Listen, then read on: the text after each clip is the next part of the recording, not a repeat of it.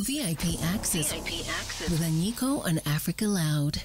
Welcome to episode three of VIP Access. I'm really happy to be here. Thank you so much for listening, for watching from wherever you are.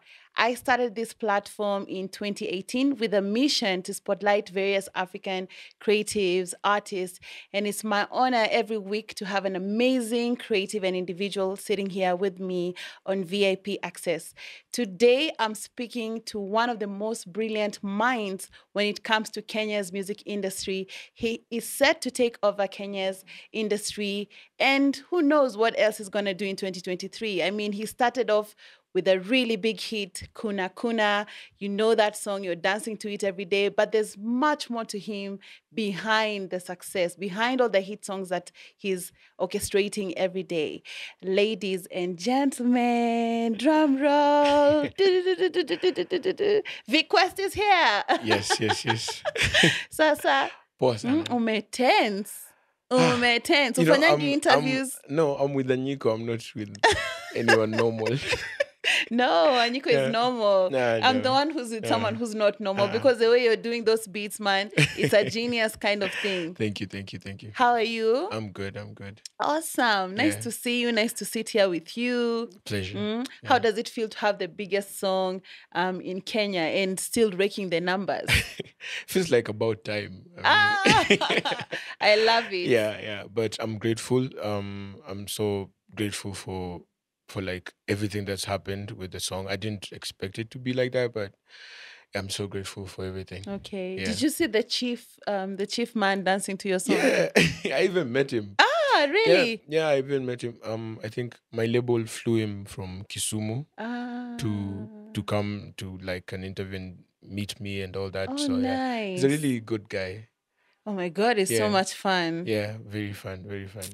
That's nice. That's Yeah. nice. It's so nice when you see your music touch people, Yeah, you know, who you would never have thought it would touch. Like when you look at him, he looks like a serious guy. And then I heard he's a chief. I'm like, what? I know, I know. Um, these are kind of people I, never thought they would listen to anything I'm doing. Yeah. and then.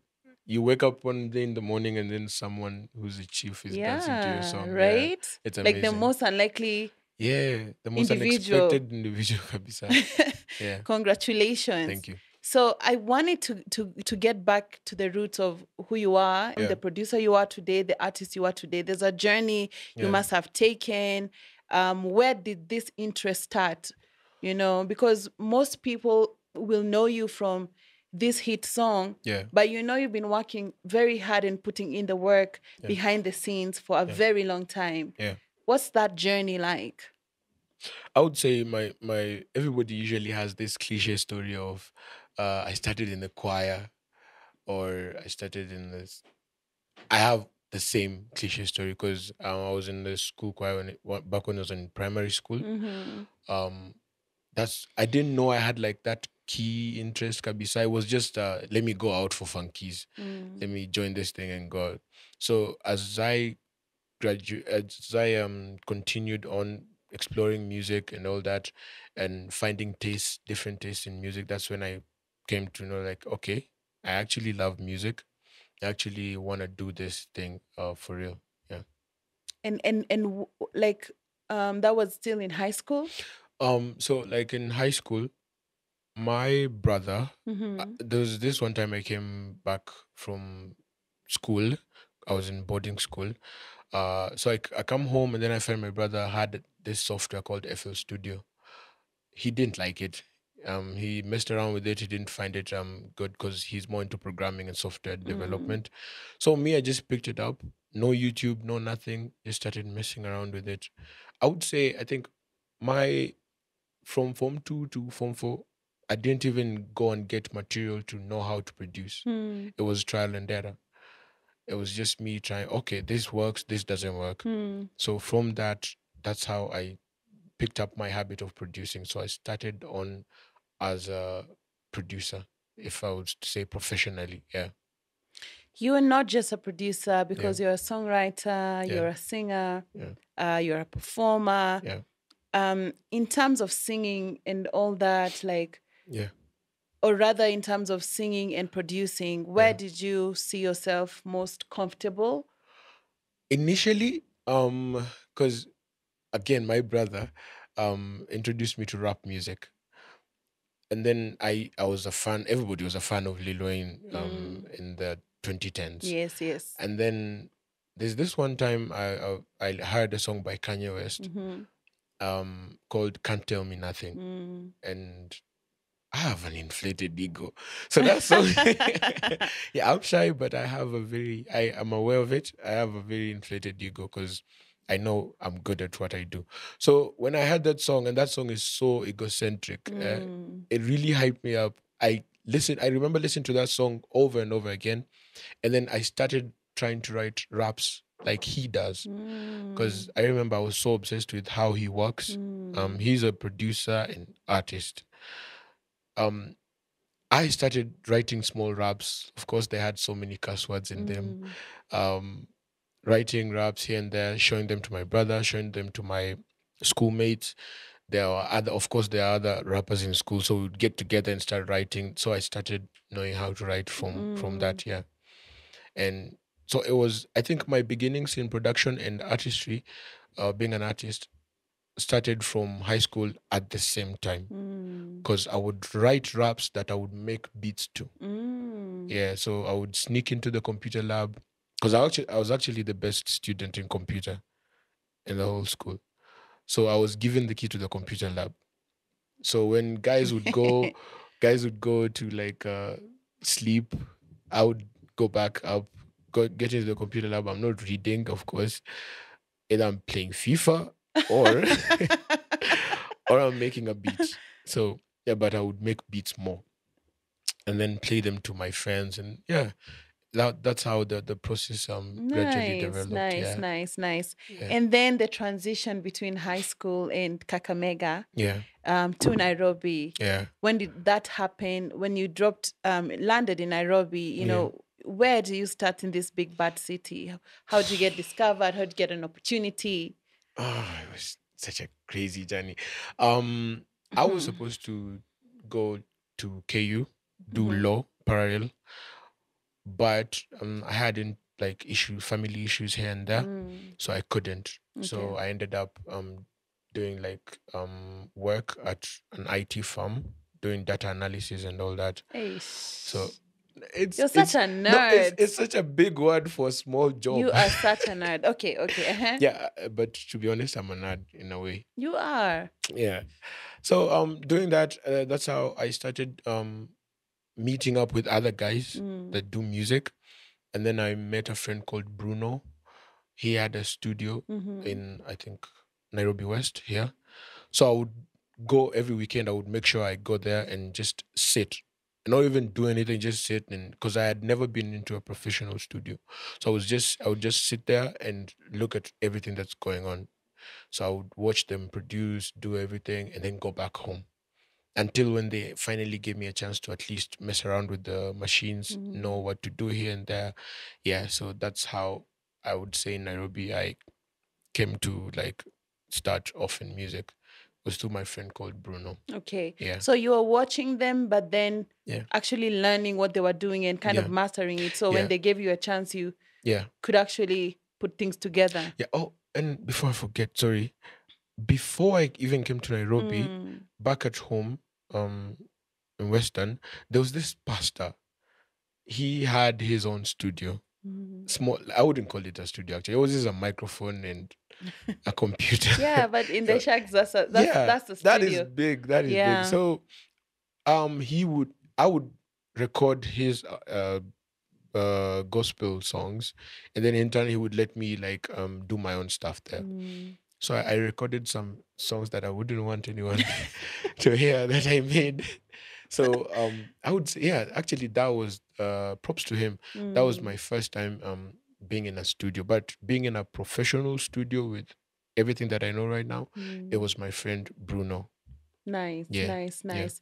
And um, you know, what what would you say was the moment Yeah. that you first witnessed success? You know, when you first produced that song, or had a collaboration with that artist and felt like, wow, like like this is what I'm supposed to be doing? Um, I w- I won't say it's.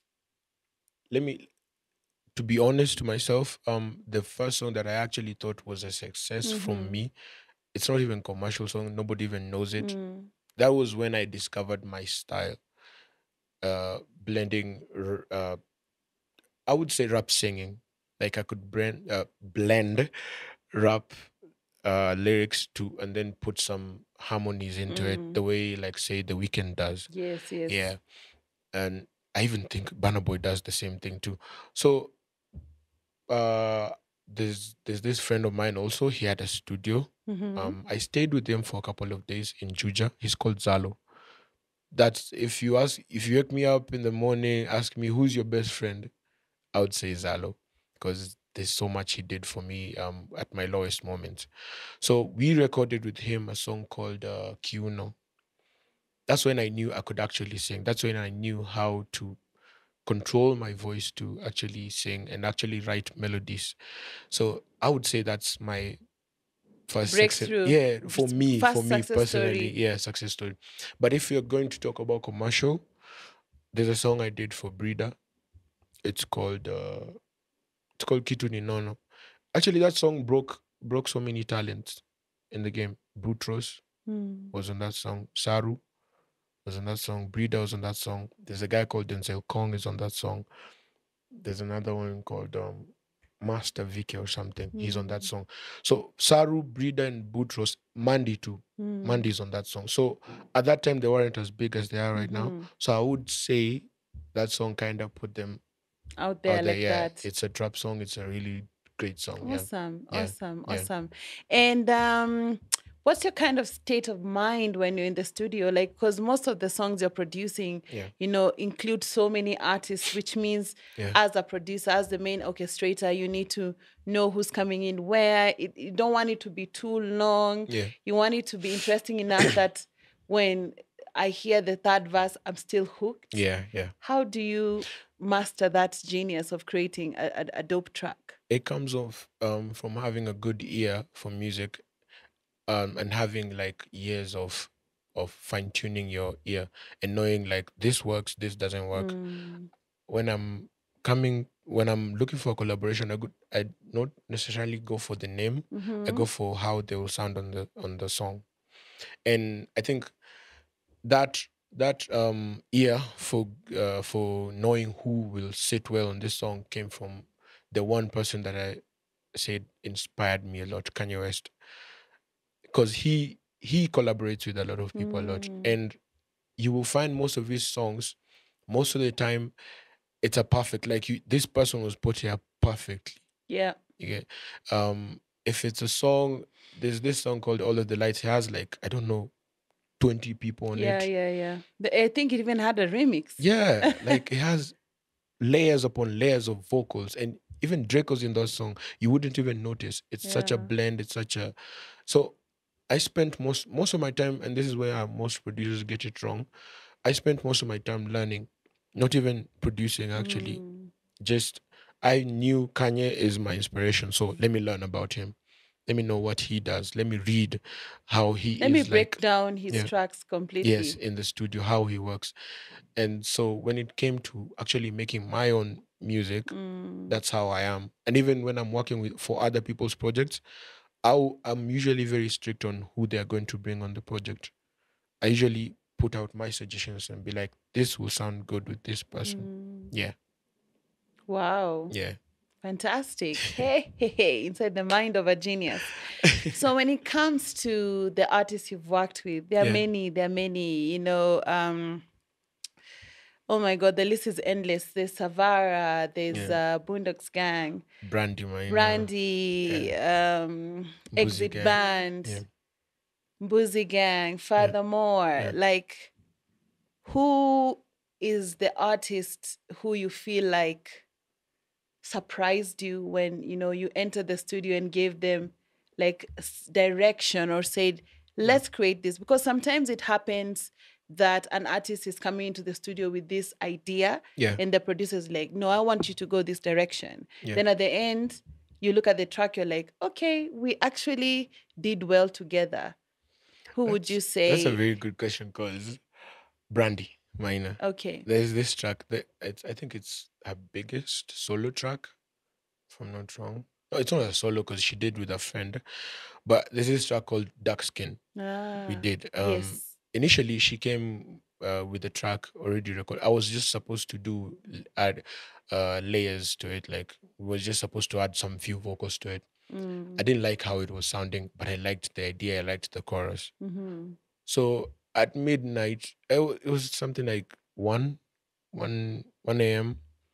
I just pressed delete out of nowhere. Like I just told her, "No, we are going to do this again." So I deleted everything, the whole project. The only thing I kept from the initial session was a bass line that it's hardly heard. We did the song again, and by three a.m. I remember she, we were up dancing to the song. And by the t- when we released it, it became such a huge song for her. It's an audio, but it's done crazy numbers. She's not even shot the video. Mm. Yeah, countless challenges. Did it sound very different from the previous one? Yeah, yeah, yeah. It had the Victor touch to it. Nice. Yeah, so I it was more chilled. It didn't have that edginess. Yeah, yeah. And then I just switched it up to a dancehall um track Vibe. that yeah, that just makes someone embrace their their skin and just feel confident about themselves. Yeah. And she so- trusted you with the entire process. Yeah, she did, she did. Nice. Yeah. Um I usually make artists that I'm working with trust me. Because I should we do something and then they're like, okay, yeah, you're actually right. It sounds good. Yeah. You're quite calm. Am I in, studio, am I I'm in the studio? You're... No, in Eh? stu- I'm I'm I'm really when I'm in when I'm in the studio, I'm really um upbeat. I Yeah. talk a lot. Uh I say You're giving off the energy. yeah, You're I like cuss a lot in the Yeah? studio. Jesus. Kai. I the, cuss a the, lot. the, the ye in you comes Yeah, out. it comes in the yeah. studio. in in front of people hata kama nawajua nyinyi wote and um we are all here i'll be really quiet i won't talk a lot Okay. So would you say you have completely different personalities like in the studio and outside? Yeah, yeah very very very totally it's like night and day oh, yeah okay. So Yeah. I guess I have to come and see you in the studio. yeah you have to and a fun fact i don't drink or smoke anything Mhm. but i get high on sodas on sugar rush so me I just come to the studio i get a fanta passion and i'm gone i'll talk i will talk i It will be Gives you a high. yeah, yeah, yeah, i'll just What? i'll just be upbeat i'll be all over the place i'll be working yeah Not even Red Bull, Fanta. Now red bull takes me to other places yeah but yeah sugar rush does it for me Okay, Yeah. good to know. Good to know. So you're currently still signed to Black Market Records. yeah Um, how has the relationship been with them? You know, during the signing, you know, what came out of the signing? You know, what have they done for you that you thought yeah this is actually good support? Um, first, of, I wouldn't be able to meet people like Fathermoh, Joe Fizz, Mbuzi Gang, Boondocks, all this, even Brandy, from to be honest, Mm, if it wasn't for them. Because I remember Joe Fizz is the one who had my demos, sent it to the CEO. The CEO liked it. I didn't have any numbers, nothing. He just liked them. And then I was signed. It took me some time now learning how the professional world works mm, yeah, the mainstream, so to speak. Um, and then there's Cash Kid. And I don't know if you know him. Yeah, Cash Kid does was really instrumental. Like he just took me under his wing. He even taught me videography. We did so many projects with him, up to a point where I started now doing my own uh, productions for big names in the label. mm. Yeah, so I would say it's really been instrumental in enabling me reach to the point I have. Yeah, without their support, I wouldn't. I would, it would have taken a long time. I know I would have gotten here, but it would have just taken a longer route. Yeah, probably. yeah. So tell me about the coming together of Kuna Kuna, you know, picking the different superstars that you decided, I'm going to put out my song. Yeah. This and this is the person I want in. And Yeah. who comes first? Because somebody like Savara, um, people would expect like he would be the first Yeah, person yeah. on the record since he's more um, accomplished. You know, he's been in the game longer than most of these people. Yeah. But as as the producer of the song, you decided Yeah. huyu namweka i think ako verse 3 Yeah. uh, and was uh, was he okay with that Yeah. say the truth Savara is one of the most amazing people. I mean, if I had this success, mingekwa. the ego would have gone another place Yeah, but the guy is so humble. Humble. Yeah, really humble. He treats me like he treats me like a genius, and I see him as a genius. of course Yeah, the way two geniuses like real recognized Nah, as real Oh God, he's he's more he's more he's more than me, if I would say. I I didn't expect him. Actually, when I sent him the the first demo, um, nilingoja niambie mbona umeniweka mwisho because that I'm used to that with big artists. He didn't. The guy was like, "Ah, release this thing right now." I'm like, "Okay, sure." so um, kuna Mhm. kuna kuna kuna first of all started with um the idea. It's it's funny. I've, I've um I'll just repeat it again because I like it. Um, I hugged this chick. She had a small waist.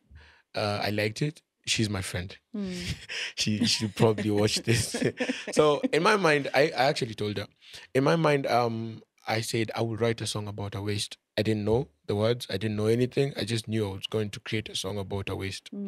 Because I had so many songs that I was still juggling in my mind about which one was going to be my first single Hmm. uh, my first song, sorry. So, like uh, a couple of days, a couple of weeks, I think two weeks later, I was in the studio alone. I was just vibing, um, no beats, just listening to random stuff on the internet and vibing, and then the words just came to me from nowhere. The the chorus, Mhm. my hands, your waist, the whole thing, just came to my mind like that. So um, I even I'll even play you the the recording on my phone when I was recording it. Uh, I just mumbled it. I think the only part I didn't have. I think the my hands, your waist, my heart away. I had that. Hmm.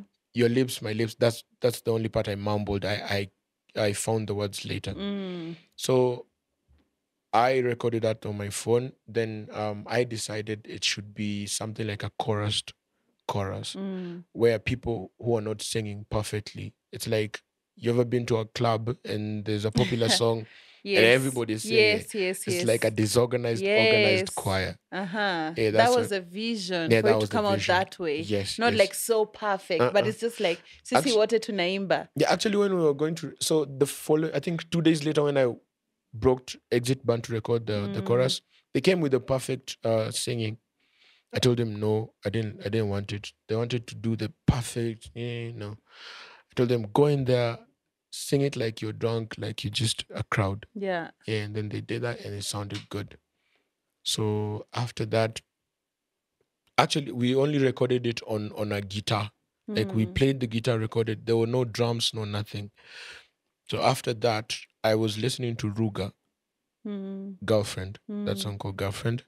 I had an intuition to have reggaeton drums like he Mm, did. mm. So that's when the drums the drums came in. And then um I put the chords and then I sent it to Brandy. Brandy liked it. She came. Hey, she mad at her verse. I have She a reaction video. it. I have a reaction video to after she had finished recording. I told her you've written the verse of the year. I swear. She was like, "Nah, you're joking." nee." I told her you'll see, you'll tell me. Nitamu. Yeah, with this song, I was sort of a prophet. Every step, I You saw you I saw, saw- it. I saw you saw it how you wanted it. I told her you've written verse of the year. she She, did. yeah, actually, in that session, we were with Charisma. You know Mhm. Charisma, Yes, I do. and um, we we were having But charisma is not in the song. no no no he Yeah. he. There's another song I did for him. Yeah. It's called Soft Life. Mm-hmm. It's out. Uh, I think it's it's on DSPs. So he was there, and then uh, Brandy was also. I was doing another song for her, Mm. and then that's the same day she recorded a verse. She wrote it in just a few minutes. Jeez. out of nowhere, able to. She went. She went out, came back. She had a verse, put it in one take. I think it was perfect. And then after that, um, I sent it to Fathermoh, and then I sent it to Savara. Savara was the last one to record, but I didn't know how I would arrange them Mm. until when I had everything. So I decided, let me put this rapper, Fathermoh, in between two vocalists. Yeah. Nice. Yeah. So Very nice. the arrangement, I think I settled on the arrangement at the last minute. Yeah. Very nice. Congratulations. Thank Whoa. And after Kuna Kuna, you do have another song with Savara and um, Bensoul. Ben Sol. Yeah. and that is called Cool me down. Cool Me Down. Cool Me Yeah. Down is already out. I think it was out since December. Yeah, I, I put it on DSPs and kept quiet about it. Mm. But then uh, uh, some people discovered it and Yeah. Started actually doing challenges on, on TikTok. Boom Play. Yeah. Yeah. So it's it's also doing well. Okay. Really, really well. Um, we are supposed to do the video and drop it. I think it's only on DSPs on Spotify, Apple, Yeah. and Boomplay. Yeah. Okay. Yeah. So what's next for for you? You know, after your contract with Black Market um um ends this year, do you want to Yeah. sign again to them? Or what's the direction you want to take for your career this year, especially because Yeah. you started on a very high note, you it Yeah. ended on a high note, and Yeah. I believe the success of Kuna Kuna and um, Cool Me Down, Yeah. um, you know, it keeps growing. Like there's Yeah. a trajectory. We we keep Yeah. seeing like the growth, the numbers. Yeah. I guess more people are discovering you in other countries. You must be Yeah. receiving a lot of messages. So many. Yeah. yeah.